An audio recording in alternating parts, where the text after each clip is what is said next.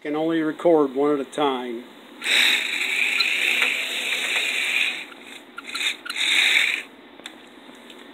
Here's the other one.